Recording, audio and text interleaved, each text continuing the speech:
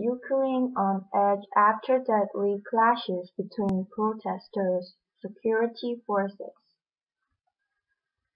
By early Friday morning the lone positive point was that for the time being, Ukraine's cycle of political and physical infighting was not then at its bloodiest point, as it had hours earlier. Prodded by foreign diplomats, the key players were then talking about not just a bandage for the violence, but also a more long-term political solution and maybe the beginnings of healing. Yet the facts of the last three months, and particularly last week, show that it's way too early to celebrate or savor any peace. There have been two truces since Sunday. Each of them collapsed suddenly into carnage centered in Kyiv Maidan or Independence Square. The latest bloodshed was also the worst since the unrest began. CNN crews at the scene reported that as security forces were moving away from the area after the latest truce, a group of protesters pursued them throwing rocks and Molotov cocktails. Demonstrators did this all under a sky blackened by smoke from their burning barricades with at least one of them firing toward police lines with a shotgun. Security forces appeared to fight back with automatic weapons and at least one sniper rifle. In video shot by Radio Free Europe, men wearing what appeared to be government uniforms fired at unseen targets with automatic rifles, rifles and a sniper rifle with a telescopic sight. CNN could not immediately confirm their target. Another video shot by CNN shows a medic trying to help a man on the ground being felled by gunfire. In all, more than one hundred people died in the fighting Thursday, protest medical officials said. Three police officers were killed as well, the Interior Ministry said. Even if the final toll is unknown, it is clearly above the previous record mark of at least 26 killed on Tuesday. I'm cleaning blood from the floor and I'm crying because this is really hard for me, said a man named Anton, who was volunteering at a protest medical clinic set up in a hotel. Renewed violence. Interior Minister Vitaly Zakharchenko said the violence had been provoked exclusively by the opposition leaders, echoing an earlier statement from President Viktor Yanukovych's office accusing protesters of breaking the truce. The opposition used the negotiation period to buy time, to mobilize and get weapons to protesters, the statement from the President's office said. However, a doctor volunteering to treat protesters, Olga Bogomolets, accused government forces of shooting to kill, saying she had treated thirteen people she believed had been targeted by professional snipers. They were shot directly to their head, to their hearts, their brain, and to their neck, she said. They didn't give any chance to doctors for us to save lives. CNN could not independently confirm Bogomolets' claim of sniper fire at a hotel that had been converted into a triage center, bodies covered in bloody blooded sheets lay on the floor. Orthodox priests prayed for over them. The Interior Ministry admit, admitted Thursday that its forces used firearms, explaining that it only did so to protect unarmed police who were in danger. Ukraine's parliament later passed a resolution that security forces should stop using guns, something that's already illegal for protesters, back off from their positions around Maidan and denounced the anti-terror operation that had been announced earlier. But whether this Thursday night resolution which doesn't need the President's signature, has an impact remains to be seen. In a statement that appeared to increase pressure on protesters, the Interior Ministry said it reserved the right to use force to free about 70 police officers it said had been taken hostage Thursday by protesters.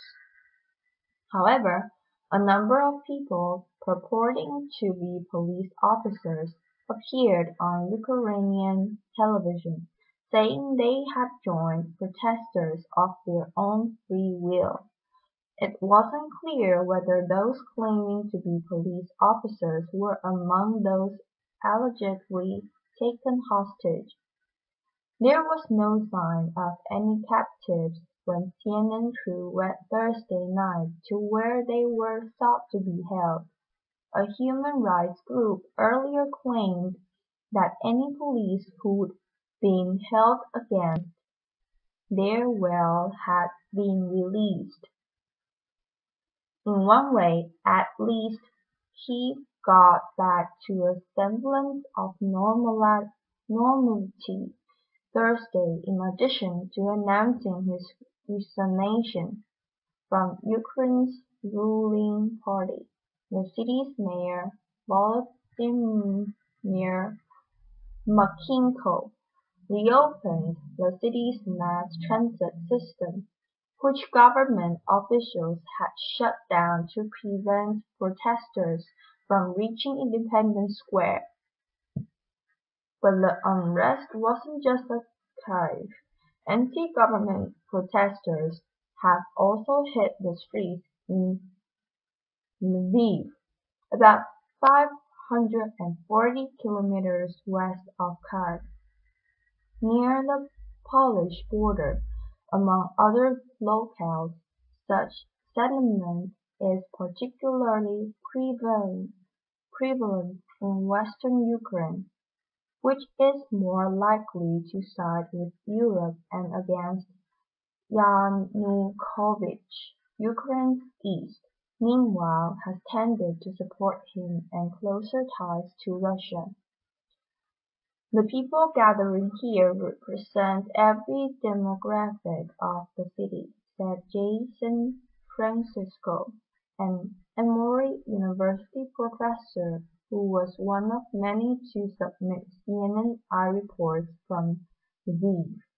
It is fair to say that the city is virtually entirely behind the provision. And this accounts for perhaps the most conspicuous thing about the situation here. The security presence is virtually non-existent.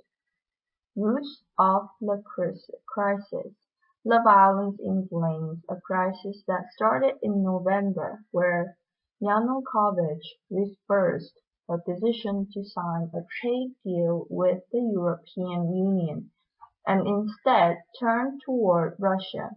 Ukraine's population has long been divided between historic loyalties to Europe and its eastern neighbor.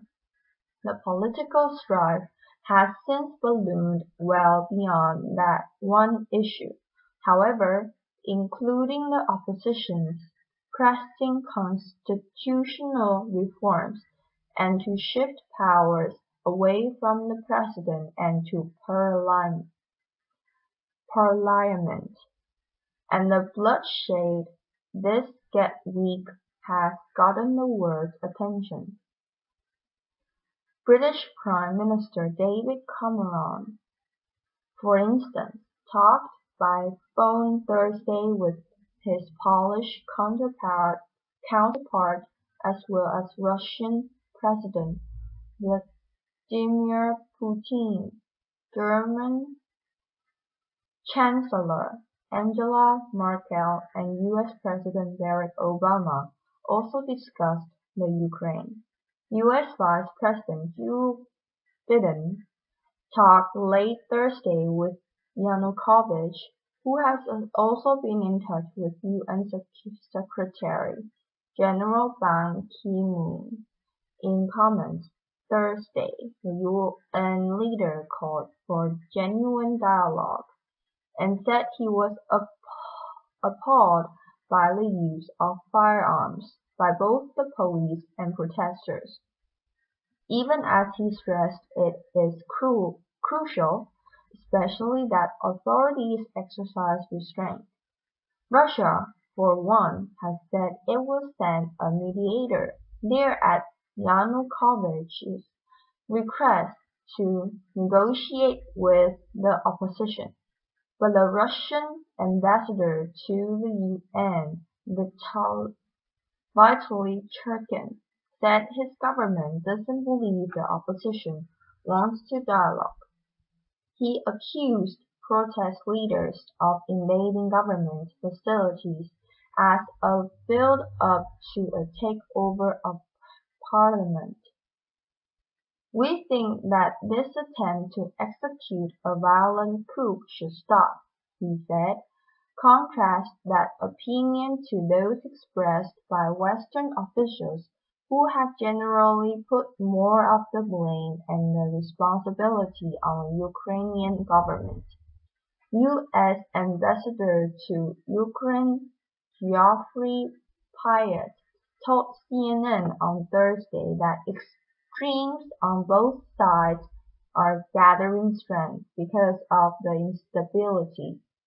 Even then, Pyatt said it's very clear that for the United States, the preponderance of the responsibility rests with the President Yanukovych. Our position is that President Yanukovych needs to lead his country into a new future and he needs to do so through the vehicle of a new government change to the constitution and the political order. Diplomatic efforts underway. After meeting in urgent session in Brussels, European Union officials agreed to freeze the assets of Ukrainians. Ukrainians deemed responsible for the violence and to prevent them from traveling into a European Union, the organization said in a statement. There is widespread horror in the European Union as well as in the United Kingdom at the scale of the loss of innocent life and the events of the last 48 hours. British Foreign Minister William Hague said. The move comes a day after the United States announced it would give visas to 20 people, including government officials, tied to the unrest. Washington is also preparing an order to freeze assets to Ukrainians who are believed to be involved in the crackdown, a senior administration official said Thursday. It's likely President Barack Obama will sign the order later in the day, but his administration is closely watching diplomatic efforts on the ground to make sure such a move won't be counterproductive, the administration official said. The foreign ministers of Germany, France, and Poland met Thursday in Kyiv the opposition leaders and Yanukovych, the plane they had planned planned to attend the Brussels meeting.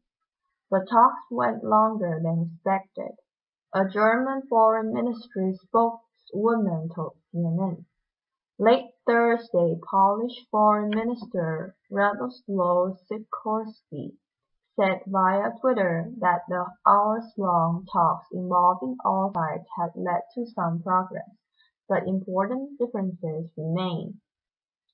This comment came as Polish Prime Minister Donald Tusk said there is a proposal before Yanukovych for elections this year.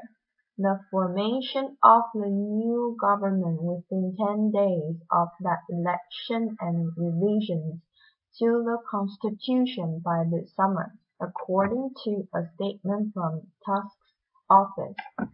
Pyatt and U.S. ambassadors also said it was his understanding that Yanukovych had opened up to the idea of early elections. Russia's foreign ministry appeared to criticize Western diplomatic efforts according to a report by Russian state news agency RIA Novosti. The ongoing attempts to obtrusively intervene from outside, threat with sanctions, or trying to influence the situation in any other ways are inappropriate and can't lead to anything good but can only aggravate the confrontation, the report quoted spokesman Alexander Lukashevich. Analysts warned there was little that outside pressure could do, especially the Ukrainian military gets involved on the side of the government cracking down on protesters. My own hunch, that Council on Foreign Relations President Richard Hayes, is this is going to continue to escalate.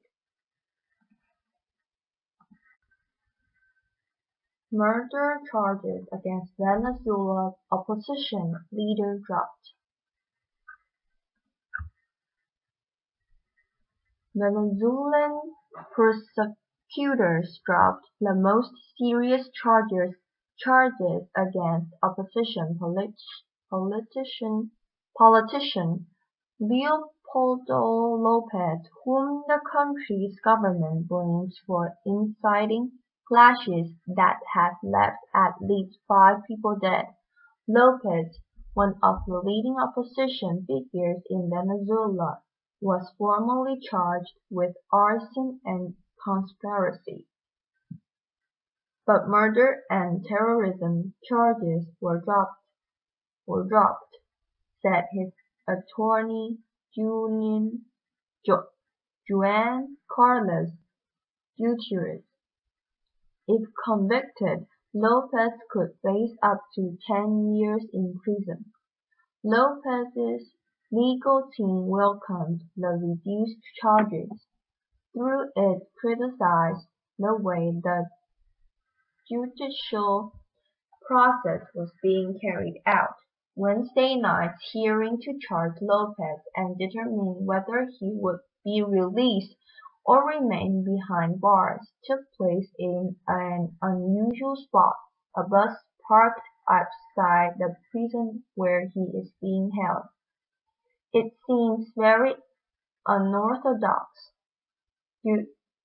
Gutierrez told CNN en Espanol. The initial court appearance was to take place in a courtroom, but because of security concerns, officials wanted to move it to the prison. Gutierrez argued that inside a prison was not a proper venue for a hearing. So the strange solution was reached. The best the bus turned courtroom parked just outside the facility. The prison outside the capital, Caracas, is a military facility and Lopez's Defense has raised questions about why a civilian is being held there. The response was that it was a place where the government could guarantee his safety. Gutierrez said Lopez turned himself into authorities this week in a dramatic scene before tens of thousands of supporters he had called to the streets. Anti-government protests in recent weeks are the largest demonstration that President Nicolas Maduro has faced in his 11 months in power. The unrest during the demonstrations, supporters of the country's socialist government and anti-government protesters have flooded social media with reports of violence, making drastically different claims about who's behind it. Since February 13, more than 2,000 stories from Venezuela have been up uploaded into iReport. CNN's user-generated platform. Many of the videos and photos depict violent scenes between demonstrators and government forces. Alejandro Camacho Beaumont told iReport that students Wednesday blocked streets and burned debris in San Cristobal from where he sent photos and he said he didn't blame them. Even though I'm always looking for peace to make a better place to live, I think people have the right to express themselves in the ways they can, and it is not easy to express yourself in this country now, he said. I support the protesters. There have been more than fifteen years that the majority of the Venezuelan citizens are going through tough times. There are so many problems we have to face every day, and there seems to be not a sincere attitude from the high government officials to rectify, them. In a nationally televised broadcast Wednesday night, Maduro described bullet wounds sustained by government forces during protests and showed videos that he said depicted opposition protesters throwing stones and setting buses ablaze. You think this is a novel? This is the reality that you, with your hatred, have created he said, if you don't like Venezuela, leave. Reports of violence drew condemnation from Henrique Capriles, a leading opposition politician, politician who lost a bid for the presidency last year. He called for the government to open a dialogue with demonstrators rather than cracking down on dissent. In this hour or turbulence to the students to those who are in the streets, again we call for you not to step into the trap of violence, he said. Human rights concerns. Human rights groups warn about the danger of turning the protests into a persecution of political opponents. The charges against Lopez who has organized protests demanding better security and end to shortage, shortages and protected freedom of speech smack of a politically motivated attempt to silence dissent in the country. Amnesty International said in a prepared statement.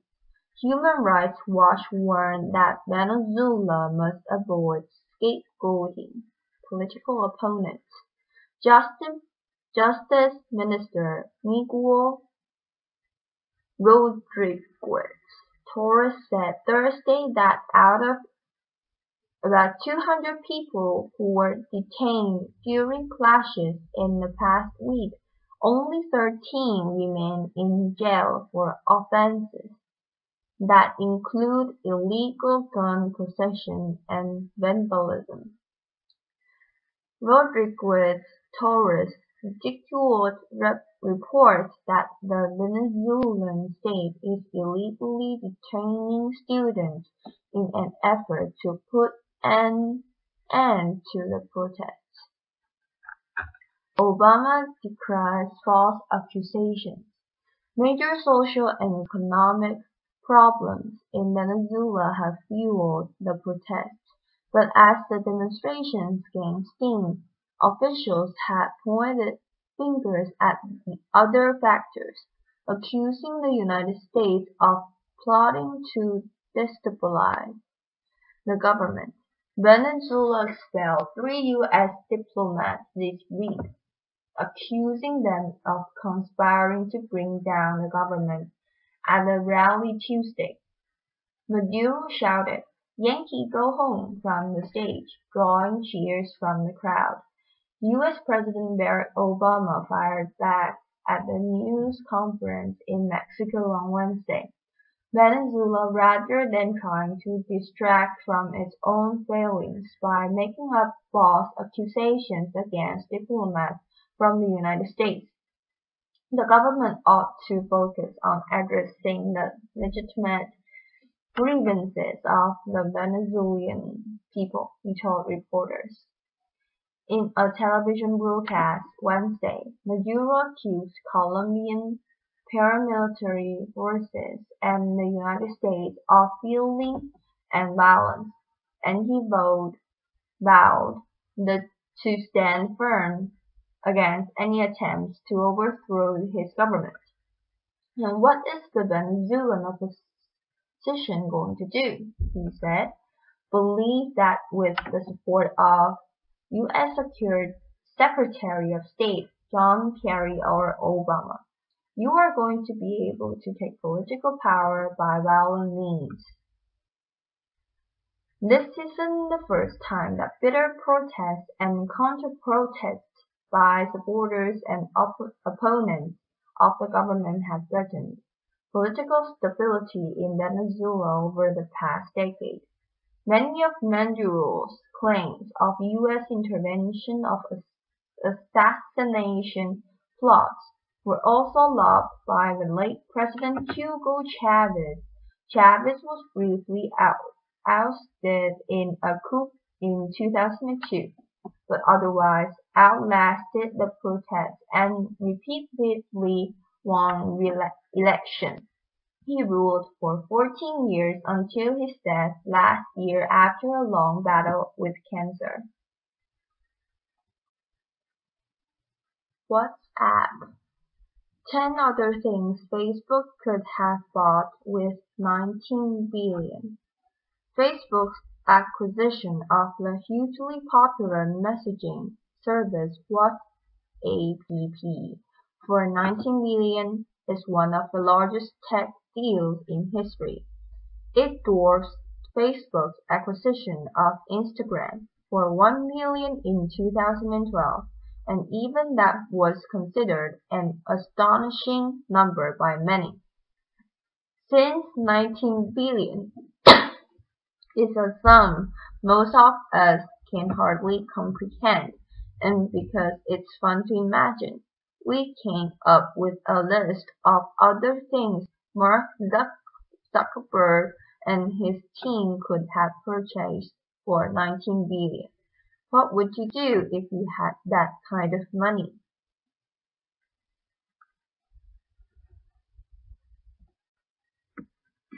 Death of severely beaten Giants fan cost two sentenced men credence.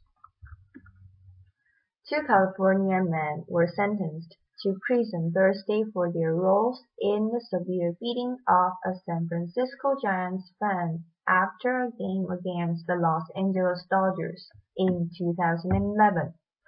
Marvin Norwood, 33, and Luis Sanchez, 31, were sentenced to four years and eight years, respectively. Members of Stow's family appeared in court and made statements to the defendants and the judge during the sentencing. Now, brain damage as a result of the beating. Stow is disabled, disabled and unable to care for himself, said his father David.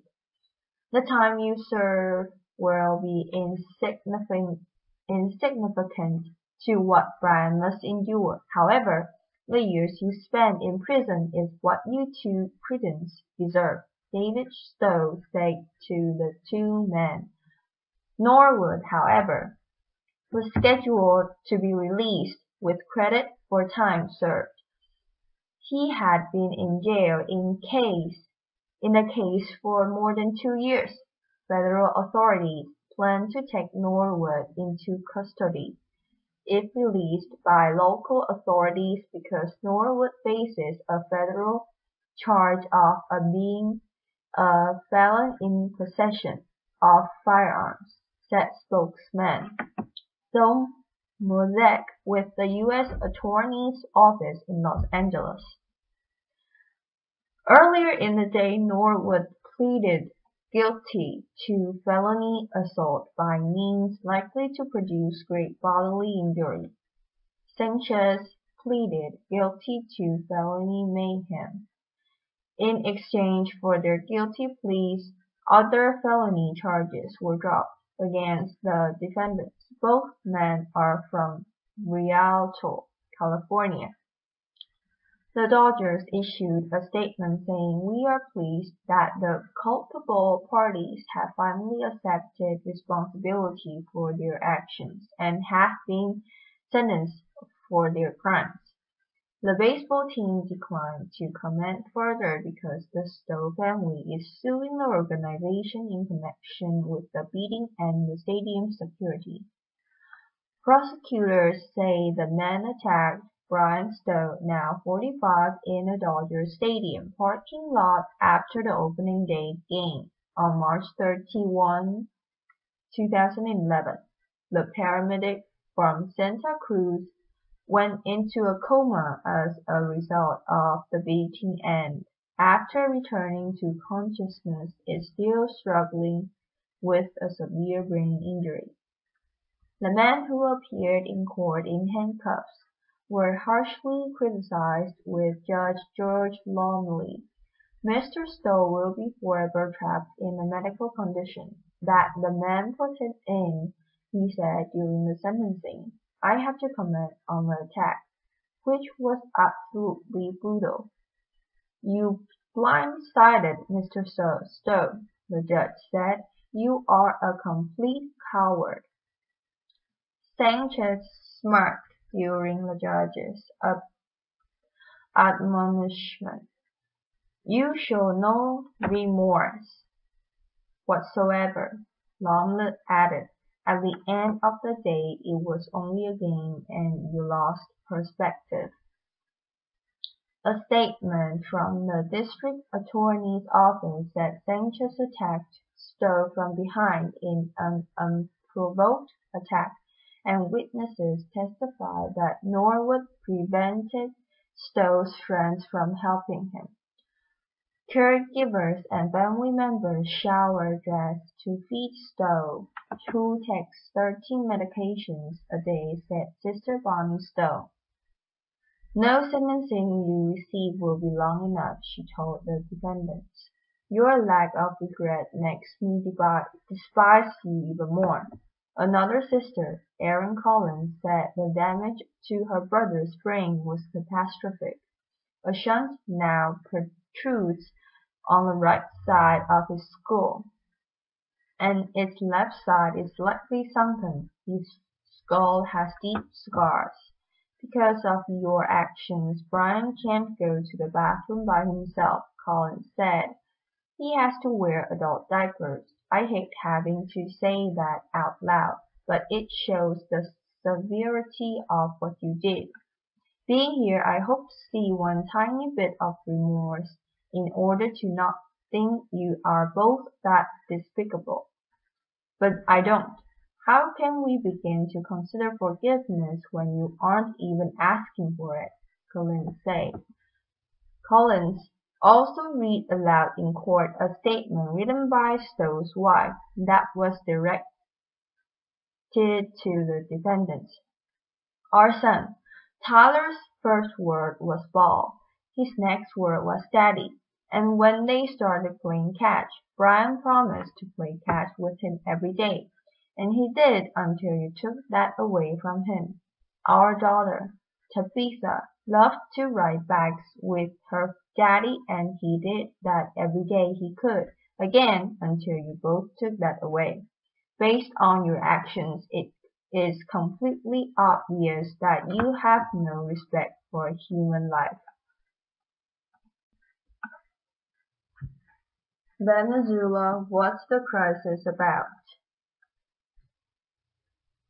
Venezuelans have taken to the streets in recent days, leading to gruesome clashes between protesters and police.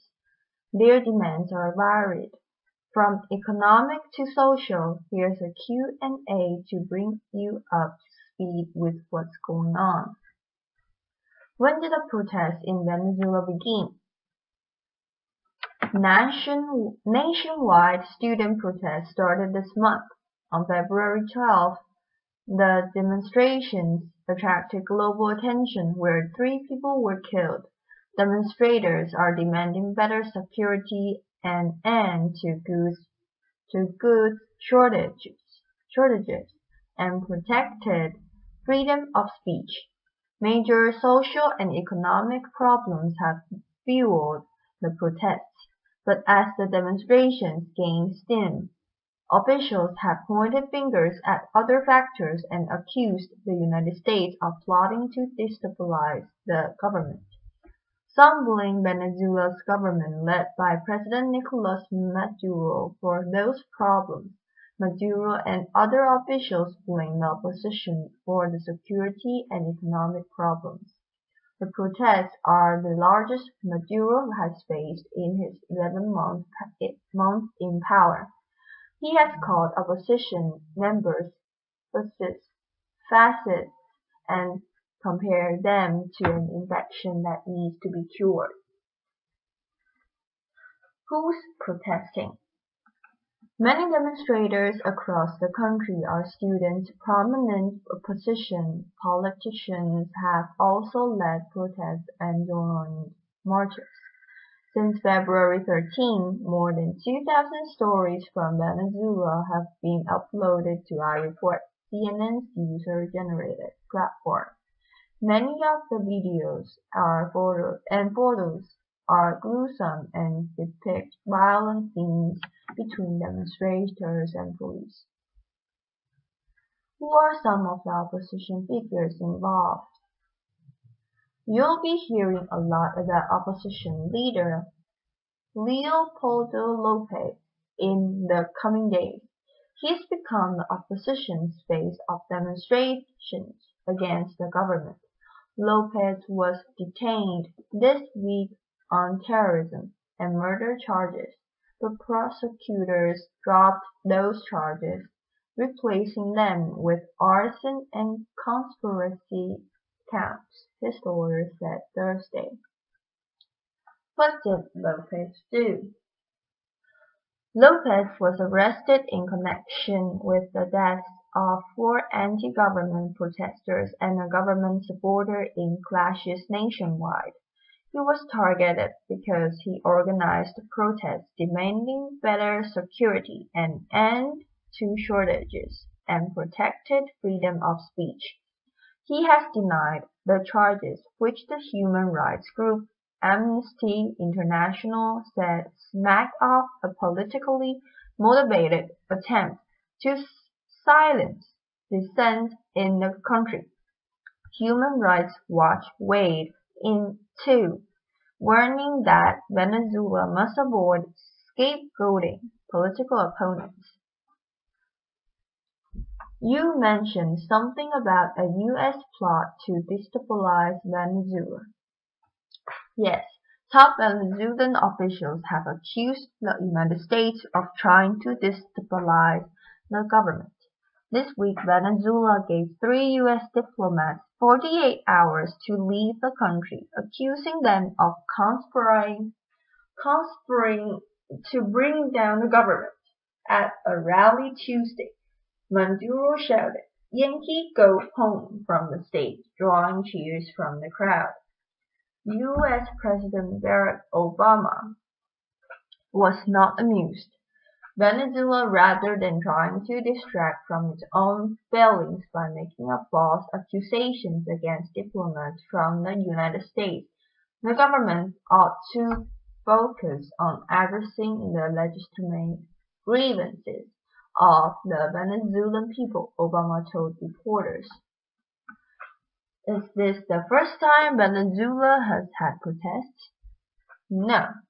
Bitter protests and counter-protests by supporters and often opponents of the government have threatened political stability in Venezuela over the past decade. Many of Maduro's claims of U.S. invention of assassination plots were also loved by the late President Hugo Chavez. Chavez were briefly ousted in a coup in 2002, but otherwise outlasted the protests and repeatedly won re-election. He ruled for 14 years until his death last year, after a long battle with cancer. What's the latest? Lopez remained in a military prison Thursday. His wife, Lilian Tintori E. Lopez, called on supporters to keep the pressure on the government. Don't give up, she said. I won't.